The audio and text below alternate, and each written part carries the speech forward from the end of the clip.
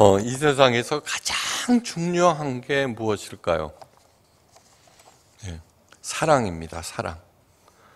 예, 예, 통상적으로 듣지 마시기 바랍니다. 어, 사자나 동물에게서는 어, 긍휼함을 찾을 수가 없습니다. 그냥 생존을 위해서 동료애와 자기 가족들 사랑하는 건 있을 수 있어도 다른 대상에 대한 사랑은 찾을 수 없습니다. 근데 우리 인간에게서만 남들을 국률이 여기고 동정하고 자기와 상관없는 사람들을 도와주고 그렇게 합니다. 그것은 왜 그러느냐 그러면은 하나님은 사랑이시고 그 사랑의 형상을 우리가 입었기 때문입니다. 이 사랑에 대한 실체를 정확히 아시고 또 진짜 사랑을 행할 때 하나님께서 만드신 이 세상에서 우리는 제대로 올바로 살 수 있습니다. 사랑은 첫째, 그 대상이 하나님이든 사람이든 개념이든 물건이든 상관없이 자기 자신을 그 대상에게 주는 것입니다. 예. 그래서 사랑하는 사람에게 가장 큰 아픔은 그 사랑하는 대상에게 거절당하는 것입니다. 심지어는 그랬다고 목숨까지 버립니다. 네. 내가 열심히 준비해서 사랑하는 사람에게 주었는데 시큰둥하면 크게 실망합니다. 온 세상이 자기 것을 챙기고 빼앗기지 않겠다고 애쓰는데 사랑의 영역에서만 정반대로 사랑하는 대상에게 더 주지 못해서 애달파합니다. 예. 오늘날 세상이 이렇게 힘들고 아픈 이유는 사랑은 더 상대방에게 자기 자신을 주는 것이라는 것을 알지 못하고 사랑을 통해서 상대방을 오히려 가지려 하기 때문입니다. 투철한 혁명가들은 자기가 사랑하는 국가나 이념을 위해서 자기 목숨을 초계처럼 버리고 진정한 예술가는 자기가 사랑하는 음악이나 미술에게 자기 자신을 던져버립니다. 그래서 가난이나 역경도 더 나은 음악이나 그림을 위해서라면 능히 가볍게 여길 수 있습니다. 베토벤은 음악에서 가장 중요한 청력을 상실하고도 더 훌륭한, 더 높은 경지의 음악을 창출해낼 수 있었습니다. 25살에 임윤하는 화가입니다. 선천성 대사 효모 결핍, 결핍증이라는 희귀병을 앓고 있습니다. 뇌세포가 점점 점점 손상되어서 발달 장애를 일으키는 질환으로 손을 움직여서 반복적인 작업이 거의 불가능하게 되었습니다. 그러나 화가의 꿈을 이루기 위해서 하루에 무려 15시간 이상을 그림 그립니다. 그 결과 자신만의 독창적인 미술 세계를 창조했습니다. 오히려 경직된 그의 손끝에 의해서 더욱 독창성이 두드러졌습니다. 그녀가 말합니다. 내 몸이 유난히 떨리는 것은 장애가 아니라 날개가 돋기 때문이다.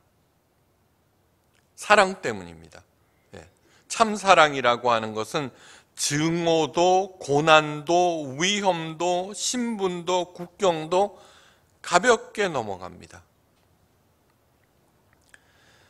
엄마를 너무너무 사랑한 7살 소년 마르코는 이탈리아에서 엄마가 있는 아르헨티나까지 7살의 몸으로 예, 엄마를 찾아갑니다. 꼬마 마르코에게 수많은 위험과 위기가 있었지만 그저 보고 싶고 사랑하는 엄마를 만나러 가는 과정의 하나일 뿐입니다.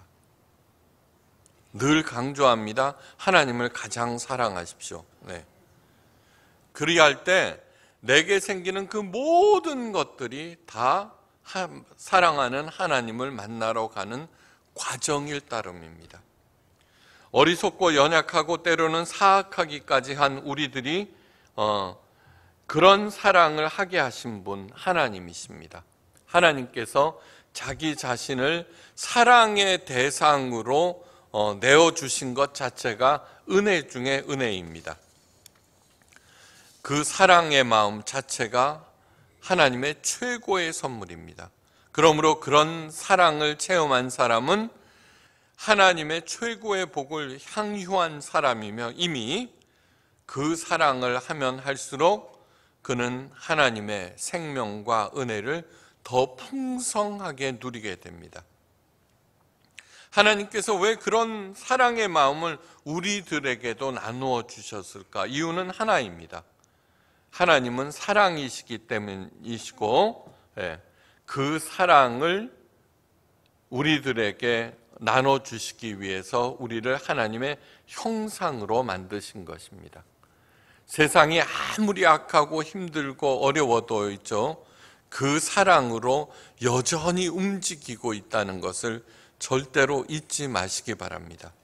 그 사랑을 온몸으로 보여주시고 세상을 이기신 분이 바로 예수님이십니다. 마르코는 엄마를 찾아 산 마리를 갔지만 하나님은 하늘에서 땅까지 도저히 측정할 수 없는 거리를 오셨습니다. 하늘과 땅은 아담의 범죄 이래로 절대로 하나가 될 수 없는 가장 먼 거리에 있습니다. 예수님은 지존하신 하나님의 아들로서 예, 그런데 가장 낮고 천한 모습으로 이 땅에 오셨고 사셨고 또한 죽으셨습니다. 우리들은 흙수저로 태어난 것을 부모님께 원망하지만 예수님과 비교하면 모두 다 예수님보다 훨씬 더 낫습니다. 예, 불공평한 세상이라고 탄식을 하고 거기에 대해서 분노합니다. 온 세상이. 그런데 한번 가만히 생각해 보십시오. 아무리 부모가 특권을 물려주고, 예, 그리고 그것으로 인해서 혜택을 받았다 하더라도 그 당사자가 능력이 없으면 그것을 절대 누리지 못합니다. 누리지 못합니다. 왜 하나님께서는 여전히 이러한 세상에 연약하고 착하고 따뜻한 사람들을 계속 보내느냐 하면은 얼마든지 그런 사람도 살 수 있다고 믿고 있기 때문입니다. 네. 우리 그리스도인이라고 하는 하나님의 자녀라고 하는 것은 무엇이냐 하면은 그 사람을 그 사랑을 알고 체험하고 향유할 줄 아는 사람. 네. 어, 가끔 말씀드립니다. 저는 어릴 때 부모님들이 쟤는 언제 죽나 할 정도로 몸이 약했습니다. 게다가 말더듬이었습니다. 예. 그 다음에 몸도 약하고 아무것도 할 수 없습니다. 그런데 말로 먹고 삽니다. 말 더듬이가. 예. 십자가 처형은 사악한 인간이 고안해낸 가장 잔혹한 처형 방법입니다. 죽기 직전까지 어떻게 하면 고통을 극대화시킬 수 있는과 영광 끝에 나온 것이 바로 십자가 처형입니다. 왜 수많은 예, 처형 방법 가운데 예수님께서는 십자가형을 당하셨는지 그것을 아셔야 합니다. 십자가에서 하나님의 사랑이 가장 극명하게 드러났다라고 하는데 가장 사악한, 가장 무서운 십자가를 예수님께서 전혀 어, 질 필요가 없음에도 불구하고 그것을 감당하셨기 때문입니다. 십자가에 달기 전에 채찍으로 39대를 때립니다. 로마 채찍 끝에는 어, 각진 쇠뭉치가 달려 있어서 맞으면 살점이 뜯기고 뼈가 드러납니다. 왜 39대를 때리느냐 하면은 40대를 맞으면은 죽기 때문입니다. 그래서 죽기 직전까지 39대를 때립니다. 그 만신창이가 된 몸으로 무거운 십자가를 지키고 자신이 죽을 처형장까지 가야 합니다. 그것도 벌거벗은 모습으로요. 그래서 십자가 처형을 수치스럽다고 말합니다. 네. 예수님의 십자가상을 보면은 가리고 있지만 사실은 그렇지 않습니다. 전날부터 물 한 모금 빵 한 조각 주지 않습니다. 십자가에 눕힌 다음 복숭아 뼈를 옆으로 모으고 그 위에 대못을 칩니다. 네. 발등 위에다가 찍는 것이 아니라 십자가 어, 그 복숭아 뼈를 이렇게 모으고 예, 그러니까 비스듬하게 됩니다. 손목에다가 손등이 아니라 손목에다가 대못을 받습니다. 저절로 몸이 처지고 고개가 숙여집니다. 숨을 쉴 수가 없습니다. 그래서 안간힘을 다해 몸과 고개를 끌어올립니다. 고통이 극대화됩니다. 네. 이 십자가 처형에서 딱 한 번의 배려가 있는데 모략을 탄 신포도주를 긴 막대기 끝에 달린 해융, 스폰지에 묻혀서 처형자에게 주는 것입니다. 네. 그것이 십자가 처형에서 단 한번 예, 있는 배려입니다. 그런데 우리 예수님께서는 그 단 한 번의 배려도 거절하셨습니다. 마가복음의 기록입니다. 모략을 탄 포도주를 주었으나 예수님께서 받지 아니하시더라. 네. 왜? 신포도주이기 때문입니까? 거기에서 어? 그거를 따질 겨를이 없습니다. 그 전날부터 물 한 방울 마시지 못한 터인데 왜 그렇게 하셨을까? 저는 이 세상에 태어난 모든 사람들을 끌어안기 위해서라고 믿습니다. 모든 사람들의 아픔과 슬픔과 고통을 다 네. 가장 저주스러운 십자가 처형을 받은 사람들의 고통보다도 더한 고통을 예, 감내하심으로 그들까지 품으시기 위해서입니다. 예. 우리들이 아픔을 토로합니다. 그런데 자기 자신의 아픔보다도 더 큰 고통을 당한 사람의 이야기를 들으면 어떻게 돼요? 그 앞에서 침묵하게 됩니다. 바로 예수님께서 그래서 그 심포도주를 거부하신 것입니다. 바로 이것이 예수님께서 보여주신 하나님의 큰 사랑입니다. 큰 사랑. 사랑의 특징, 절대 소유하려고 하지 않습니다. 자기의 유익을 굳이 아니합니다. 예. 오히려 자기 자신을 그 사랑의 대상에 내어줍니다. 내어줍니다. 예. 그 사랑을 깨달을 때 비로소 내 삶이 시작된다는 것입니다. 왜 스스로 목숨이 끊습니까? 지금 내가 사는 것이 너무너무 힘들다고 생각하기 때문입니다. 하나님의 사랑을 그래서 늘 강조합니다. 예수님의 사랑은 그 어떤 고귀하고 아름다운 사랑도 다 품고도 남습니다. 예수님의 모든 가르침은 이 하나님의 사랑을 이 땅에서 사는 법에 어, 어, 펼치는 법에 관한 것입니다. 죽어가는 내 생명을 살리고 살아난 생명이 더욱 풍성해지는 그 비결을 가르치시기 위해서 그렇게 하신 것입니다. 삶의 올바른 지침, 천국에 이르는 길을 가르쳐 주신 것으로도 고맙고 감사한 일인데 예수님의 나를 향한 사랑은 여기서 멈추지 않습니다. 그래서 십자가에서 마지막 살 한 점, 피 한 방울까지 내어 주시면서 그 사랑으로 우리를 구원하신 것입니다. 그래서 하나님의 인치심을 받은 14만 4천 명, 예, 이루 헤아릴 수 없는 14만 4천 명, 흰 옷을 입고 찬양을 드리며 이렇게 외칩니다. 구원하심이 보좌에 앉으신 우리 하나님과 어린 양에게 있도다. 네. 그 사랑으로 우리를 구원하신다는 얘기입니다. 이 사람들은 하나님 예수님께서 전생애와 십자가에서 드러내 주신 하나님의 사랑을 온몸으로 받고 온몸을 깨닫고 온몸으로 행했던 사람입니다. 그래서 너무나 고마우신 하나님과 어린 양 보좌 앞에 엎드려서 얼굴을 대고 하나님께 경배하고 외쳤던 것입니다. 아멘 찬송과 영광과 지혜와 감사와 존귀와 권능과 힘이 우리 하나님께 세세토록 있을지어다. 찬송, 영광, 지혜, 감사, 존귀, 권능, 힘 이것의 출처가 무엇입니까? 바로 사랑입니다. 우리가 진심으로 사랑을 행할 때 우리에게서 찬송과 영광과 지혜와 감사, 존귀와 권능 또한 우리에게서 나옵니다. 그래서 예수님께서 가르쳐 주셨습니다. 이 세상에 수많은 법들과 규칙과 어, 교훈들이 있는데 그 중에 최고는 하나님 사랑이고 예, 두 번째는 이웃 사랑이라고 가르쳐 주신 것입니다. 그 어떤 사람도 경배의 대상이 아닙니다. 모든 지혜와 어, 종기와 권능과 힘은 모두 다 내 노력에 의해서 이루어진 것이 아니기 때문입니다. 원천이 없으면은 그 어떤 것도 존재할 수 없습니다. 이 지혜, 존귀, 권능, 힘 이것은 하나님의 사랑으로부터 예, 나온 것입니다. 하나님의 사랑이 원천입니다.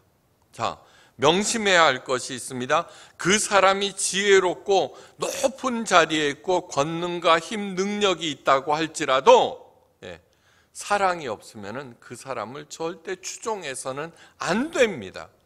안 됩니다. 예. 이러한 것들은 하나님으로부터 나오기 때문에 예. 사랑이 없다는 것은 하나님을 절대 알지 못한다는 얘기입니다. 바리새인들은 하나님에 대해서 꿰고 있었습니다. 그러나 그 마음 속에는 남들을 불쌍히 여기고 국률이 여기는 마음이 없었습니다. 그래서 예수님께서는 그들을 한마디로 돈을 사랑하는 위선자라고 불법을 행하는 자라고 자신들도 천국에 들어가지 못하지만 남들까지 들어가는 것을 막고 있다고 말합니다.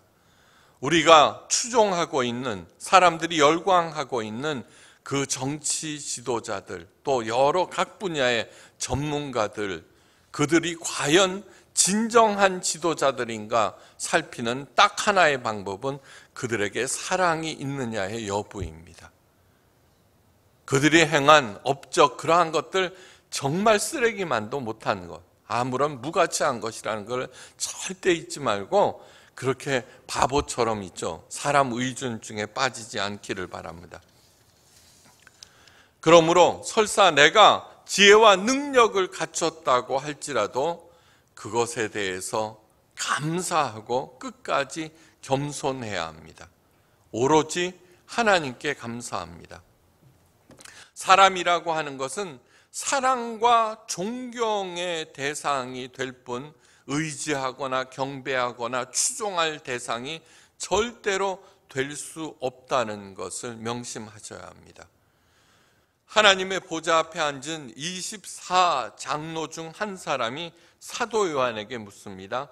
이 흰 옷을 입은 자들은 누구이며 또 어디서 왔느냐? 예. 그들의 출처를 묻고 있습니다. 이에 사도 바울이 대답합니다. 사도 요한이 내 주여 당신이 아시나이다. 그러자 그 장로가 말합니다. 이는 큰 환란에서 나오는 자들인데 어린 양의 피에 그 옷을 씻어 희게 하였느니라. 예. 이것이 무슨 무슨 말입니까? 예, 어린 양의 피. 예수님께서 십자가에 보여주신 그 하나님의 사랑으로 자신의 전체를 씻어서 희게 한 사람. 하나님을 가장 사랑함으로 그에게 닥친 어떤 환란도 능히 이길 수 있는 예, 마음을 가진 사람들. 일곱 살 소년 마르코를 잊지 마십시오.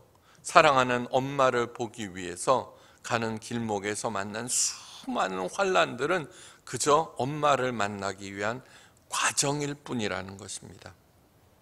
여기에서 주목해야 하는 큰 환란입니다. 큰 환란이란 지금까지 본 마지막 때에 당하게 될 여러 큰 환란을 의미하기도 하지만 우리들이 살면서 당하는 여러 가지 어려움들을 의미합니다. 아무리 높고 많이 가졌어도 지혜롭다고 할지라도 어려움들을 겪게 마련입니다. 정말 중요한 것은 그 어려움이 얼마나 크냐에 관한 얘기가 아니라 내가 어떻게 대처하느냐에 관한 것입니다. 예수님께서 자세히 가르쳐 주셨습니다. 가장 기본이 되는 것은 어떤 경우에도 악을 악으로 갚지 않는 것입니다. 악을 악으로 갚지 않는 유일한 길은 내가 사랑을 가졌을 때만 가능합니다. 예. 설사 내 잘못과 허물이 없을지라도 그렇게 해야 한다는 것입니다. 예, 나는 허물이 없습니다. 잘못이 없습니다. 그런데도 고난을 당하고 남들에게 비판의 대상, 공격의 대상이 됩니다. 그럴지라도 절대로 똑같은 악으로 대항하지 말라는 것입니다. 그렇다면 내 잘못과 허물로 인한 것이라면 당연히 당해야죠. 당연히 당해야죠. 근데 그런 사람들이 없습니다. 자기가 잘못했음에도 불구하고 그래서 수많은 사람들이 피해를 입었음에도 불구하고 예, 잘못한 사람들이 아무도 없습니다. 그런데 그렇게 당해야 하는 어, 인내심 그것은 또한 내 인내심이 아니라 예수님의 이름으로 감당하는 것입니다. 그래야 할때 그 고난이 오히려 나를 교정하고 살리고 하나님께로 인도하는 은혜의 시간이 됩니다. 그래서 사도 바울이 이렇게 말합니다. 어두운 데서 빛이 비치라 아, 말씀하셨던 그 하나님께서 예수 그리스도의 얼굴에 있는 하나님의 영광을 아는 빛을 우리 마음에 비추셨느니라. 예. 예수님께서 십자가에 달려서 그 어, 얼굴이 헝클어졌습니다. 그러나 그 모든 것들은 하나님의 영광을 드러내, 하나님의 사랑을 드러내는 네, 그러한 빛이었습니다. 그것이 얼마나 고맙고 감사한 일인지 내가 깨달았습니다. 예, 정말 하나님이 나를 사랑하셔서 예수님께서 예, 내, 나로 인해서 저런 고통을 당하셨구나. 그, 그, 그것을 깨달아 합니다. 우리가 이 보배를 질그릇에 가졌으니 이 보배가 무엇입니까? 그 바로 그 사랑을 내가 가지게 되었다는 얘기입니다. 이는 심히 큰 능력은 하나님께 있고 우리에게 있지 아니함을 알게 하려 하심이니라. 사랑의 증거가 예, 있는지 내가 내가 정말 사랑을 가지고 있는지 한번 살펴보십시오. 그것의 가장 큰 증거는 무엇이냐 하면은 나하고 상관없는 사람들을 긍휼히 여기느냐입니다. 불쌍히 여기느냐, 동정하고 있느냐. 네. 그 상대방이 불쌍하게 여겨지면 여겨질수록 네. 내가 포악을 행치 않습니다. 네. 받아들이고 오히려 그 사람을 수용합니다. 그러므로 그런 사람에게는 갑질이 있을 수 없습니다. 갑질을 행하는 사람, 갑질을 행하는 사람 절대로 구원에 이르지 못합니다. 예, 잘난 척하는 사람 절대로 구원에 이르지 못합니다. 여러분 식당에 가서 종업원들에게 함부로 하는 사람, 예. 한번 깊이 생각해 보십시오. 정치가들 중에 요즘 정치가들 중에 과연 그 사랑을 보이는 사람이 있을까 한번 생각해 보십시오. 제가 보기에는 거의 없습니다. 그런데 진짜로 중요한 것은 내가 정치를 하려고 할 때 그런 사람들이 되는 것입니다. 예. 각 분야에서 진짜로 필요한 사람은 남들을 불쌍히 여기고 국률이 여기면서 나가는 사람. 그러므로 예, 상사, 직장 상사, 높은 사람 어떤 사람들이 어, 하는 행태를 볼 때 그에게 동정심과 사랑하는 긍휼을 베푸려는 마음이 없다는 것을 알게 되면은 그 사람을 두려워할 필요가 전혀 없습니다. 전혀 없습니다. 예. 그저 그를 위해서 기도하고 인내하고 감내하고 내게 맡겨진 그 일들을 묵묵히 사랑으로 행할 뿐입니다. 그렇게 할 때 뭐예요? 심히 큰 능력이 나타나게 됩니다. 어떤 분야에서도, 어떤 분야에서도. 지난 CBS 모금 방송 강사로 갔을 때 키가 135m밖에 안 되는 자그마한 여자분 하나를 만났습니다. 이름은 김혜영. 예, 아프리카 보츠와나에서 선교사라고 일하고 있었습니다. 척추 장애자였습니다. 가난한 농부 오남매 중 마지로 태어난 그녀는 주벽이 심한 아버지가 술에 취해서 그 어린 딸을 집어던지는 바람에 척추가 부러지고 장애인이 되었습니다. 어머니는 정신질환자, 술주정의 아버지는 생활고를 비관하여 죽었고 초등학교를 졸업하자마자 그 성치 못한 몸으로 남의 집 식모로 들어가서 나머지 내 동생을 먹여 살려야 했습니다. 앞날이 깜깜했습니다. 이렇게 살아서는 안 되겠다 싶어 먹여주고 재워주는 한남 장애인 직업학교에 들어가서 편물 기술을 배웠습니다. 그런데 그곳에서 김혜영 씨의 앞날을 바꿔준 너무너무 고마운 선생님을 만났습니다. 그리스도인인 그 선생님으로부터 난생 처음으로 사랑을 받았고, 예, 무엇보다도 하나님을 알게 되었습니다. 선생님과 함께 교회 가는 것이 최고의 낙이었습니다. 처음으로 소망을 본 김혜영 씨는 열심히 열심히 열심히 기술을 익혔고 그 결과 전국 기능 경기 대회에서 금상, 세계 장애인 기능 경기에서 금상을 받고 철탑 산업 훈장까지 받았습니다. 그렇게 앞만 보고 달리던 그녀에게 병이 찾아왔고 병원에 입원해야 했는데 그 병원으로 우리 하나님께서 찾아오셨습니다. 그리고는 하나님께서 이렇게 말씀하셨습니다. 내가 원하는 곳이 아니라 너를 원하는 곳으로 가면 어떻겠니? 예. 직접 말씀하신 것이 아니라 그 마음속에 그런 감동이 들었다는 것입니다. 성령께서. 그동안 자신과 동생들만을 위해서 살아온 자신이 너무너무 부끄러웠습니다. 그래서 자신을 필요로 하는 곳을 찾아보았는데 그렇게 찾아간 곳이 아프리카 보츠와나입니다. 그곳 장애인 기술학교에서 14년간 아프리카 장애인들을 가르치고 있습니다. 이러한 모든 것들은 뭐예요? 그 선생님의 사랑, 예, 그 사랑으로 눈이 뜨고 하나님에 대한 사랑을 보게 되고, 예, 그래서 이웃 사랑으로 이어집니다. 여러분, 내가 좋아해서 만난 그 아내나 남편, 그래서 태어난 자녀들, 한 가정을 이루는데 그 좋아서 사랑으로 어, 만든 가정도 제대로 영위하고 있습니까? 정말 천국입니까? 한번 깊이 생각해 보시고 그 사랑을 회복하시기를 바랍니다. 그 사랑을 회복하는 방법이 뭔지 아십니까? 예. 첫째는, 첫째는 상대방을 가르치고 개조할 생각을 버리는 것입니다. 예. 하나님께서 그렇게 만드셨습니다. 그리고 보내셨습니다. 제가 늘 말씀드리지 않습니까? 예. 이 세상에서 가장 위대한 일은 상대방의 가치를 알아보고 가장 그답게 살도록 도와주는 일이다. 우리 교회가 행하고 있는 일입니다. 네. 저는 절대로 여러분들이 교회 영업사원이 되는 것을 원치 않습니다.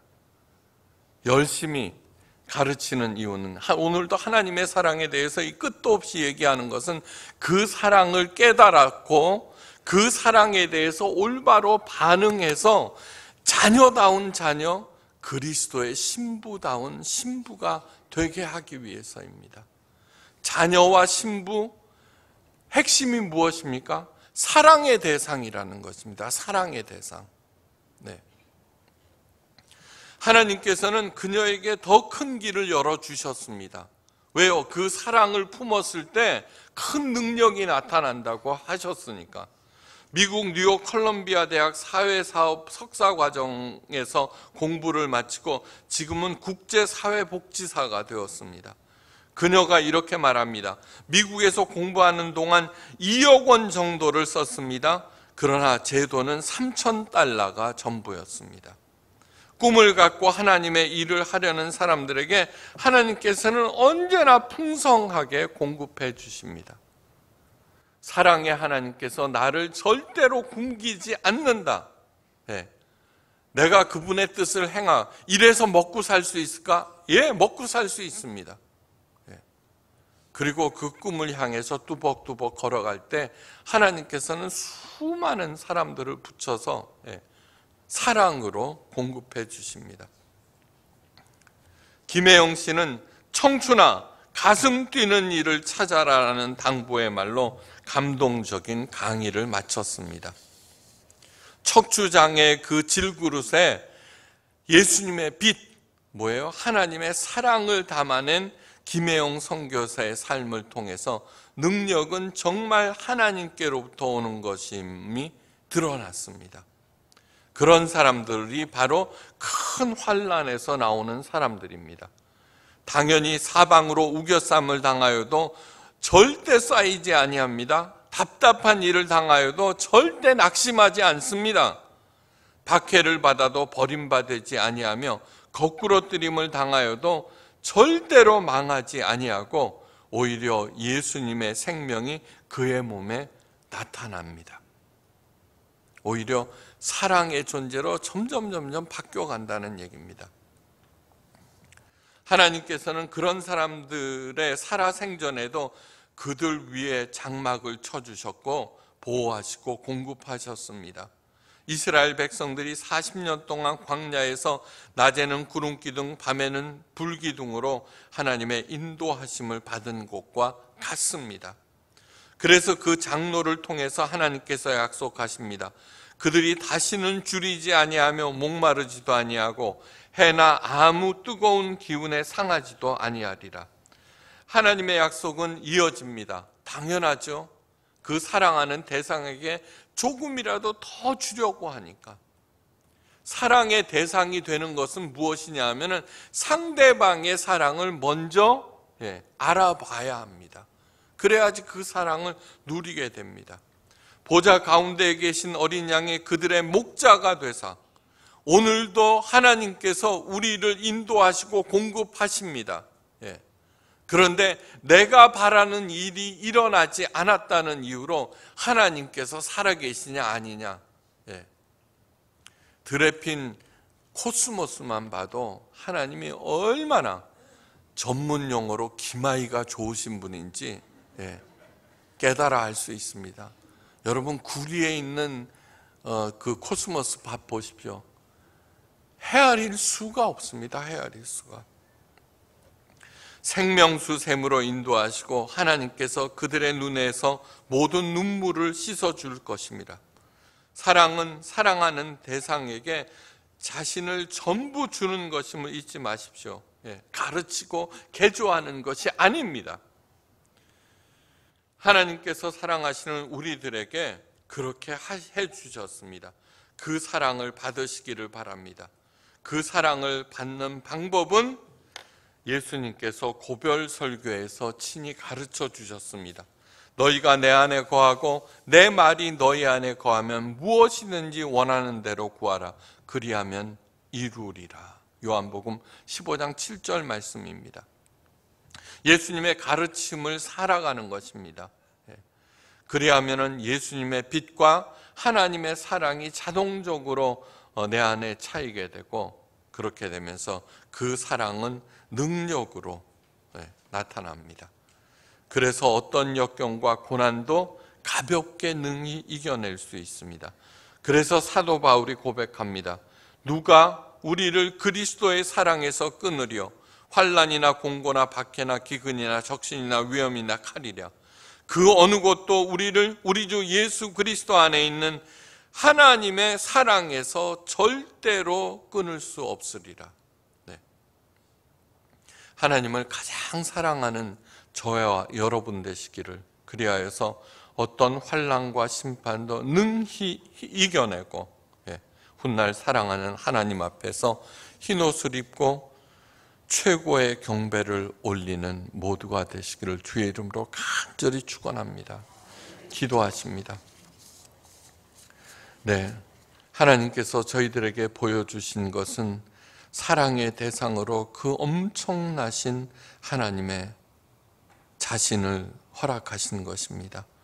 예수님을 통하여서 그 사랑이 얼마나 큰지 친히 보여주셨습니다. 이제 눈을 들어서 사방을 봅니다. 모든 것이 하나님의 사랑 가득한 하나님께서 베푸신 기적들입니다. 그 안에서 우리가 숨을 쉬고 하루하루를 살아갑니다. 어떤 경우에도 예, 만몬 신에게 노란하지 않게 하시고 우리들이 고통을 당할 때 예, 어려울 때 그것은 고난 때문이 아니라 내게 훨훨 나는 날개가 돋아나기 위함임을 깨달아 알게 하시고 만난을 이기고 하나님의 예비한 복을 누리는 모두가 되게 하옵소서. 감사드리며 모든 말씀 예수 그리스도의 이름으로 간절히 기도하옵나이다. 아멘.